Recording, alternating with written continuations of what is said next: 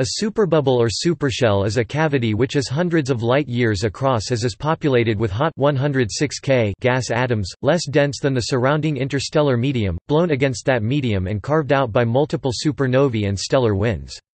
The winds, passage and gravity of newly born stars strip superbubbles of any other dust or gas. The Solar System lies near the center of an old superbubble, known as the local bubble, whose boundaries can be traced by a sudden rise in dust extinction of exterior stars at distances greater than a few hundred light-years. Topic formation The most massive stars, with masses ranging from 8 to roughly 100 solar masses and spectral types of O and early B, are usually found in groups called OB associations. Massive O stars have strong stellar winds, and most of these stars explode as supernovae at the end of their lives. The strongest stellar winds release kinetic energy of 1051 ergs 1044 J over the lifetime of a star, which is equivalent to a supernova explosion. These winds can form stellar wind bubbles dozens of light-years across. Inside OB associations, the stars are close enough that their wind bubbles merge, forming a giant bubble called a superbubble. When stars die, supernova explosions, similarly, drive blast waves that can reach even larger sizes, with expansion velocities up to several hundred kms-1. Stars in OB associations are not gravitationally bound, but they drift apart at small speeds of around 20 km s-1, and they exhaust their fuel rapidly after a few millions of years.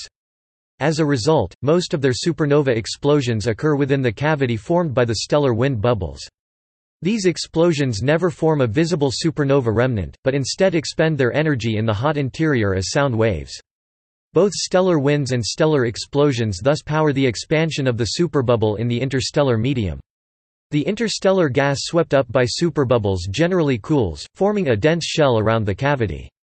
These shells were first observed in line emission at 21 cm from hydrogen, leading to the formulation of the theory of superbubble formation.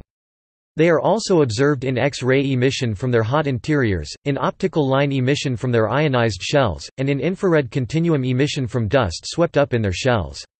X-ray and visible emission are typically observed from younger superbubbles, while older, larger objects seen in 21 cm may even result from multiple superbubbles combining, and so are sometimes distinguished by calling them supershells.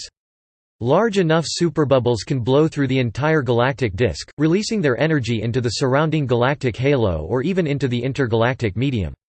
Topic examples LHA 120 N44 N44 in the Large Magellanic Cloud Anticenter shell, a supershell once called Snickers Hanais 70 monogem ring Ophiuchus superbubble The scutum supershell Orion Eridanus superbubble topic References topic External links Tenorio Tagle, G., and Bodenheimer, P. Large-scale expanding superstructures in galaxies, 1988, Annual Review of Astronomy and Astrophysics 26, 145–197.